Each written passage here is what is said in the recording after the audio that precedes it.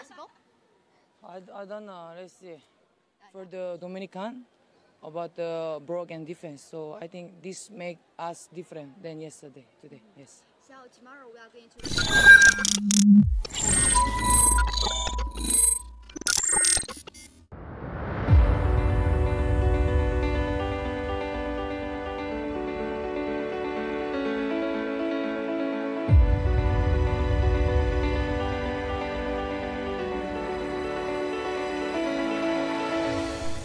Kim Yong Kyung tunda masa pensiunnya saat tahu Mega masih di Red Sparks.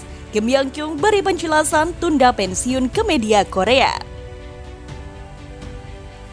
V-League musim lalu bisa dikatakan sebagai pertandingan paling kompetitif Liga Korea karena persaingan semua klub yang mengesankan.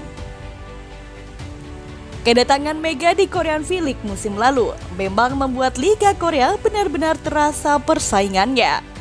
Pasalnya meski tampil tak konsisten di awal, namun Mega mampu membawa Red Stripes untuk bisa mendominasi laga di putaran keempat sampai keenam.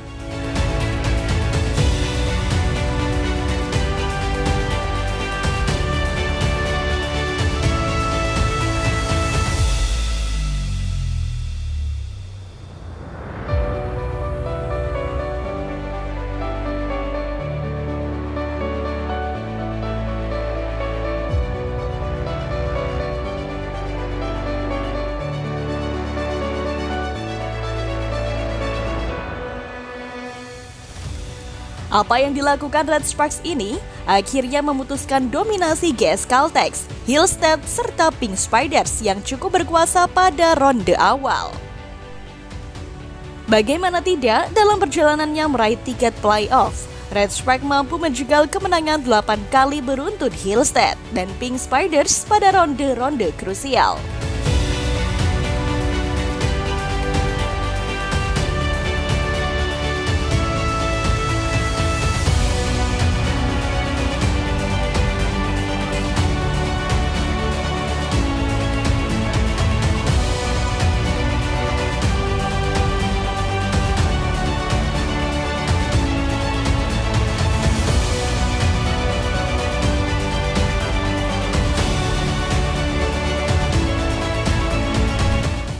Bahkan karena kekalahan itu, Hillstead dan Pink Spiders harus berjuang sampai akhir ronde untuk memastikan tiket final mereka aman pada musim lalu. Hal itu diungkapkan oleh berbagai pemain Korean V-League seperti Lee Dae-hyung ataupun Kim Da-in yang mengatakan musim lalu persaingan sudah tak bisa diprediksi.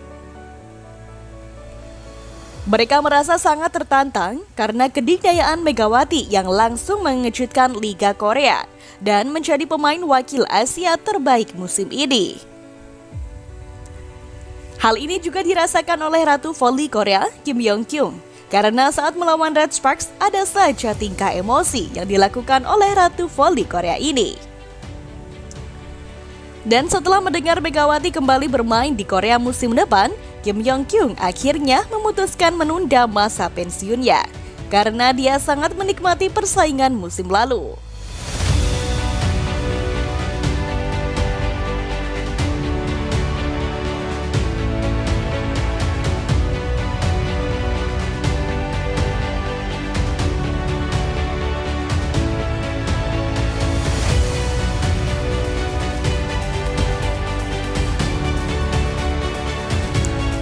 Kim Yong Kyung masih penasaran untuk merasakan juara di V-League lagi karena aksi Kim akhirnya berakhir anti klimaks usai dihancurkan oleh Hillstead di babak final.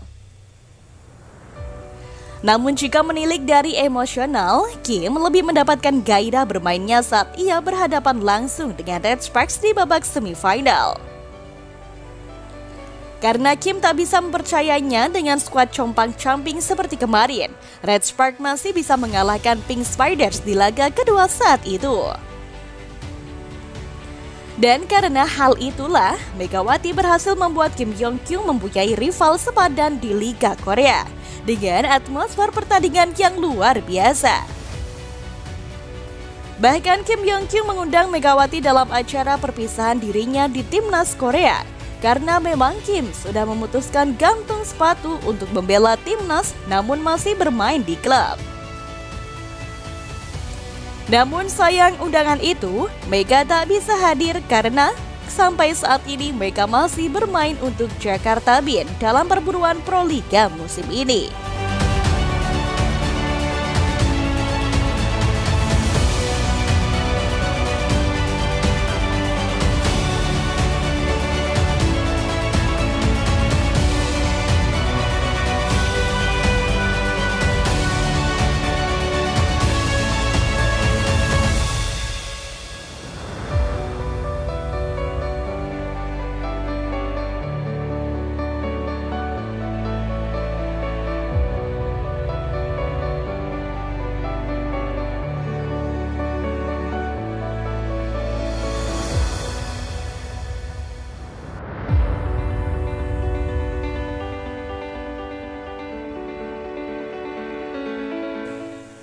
Musim depan akan lebih menarik karena kami mendapatkan pemain Cina yang bisa menjadi tembok besar di depan.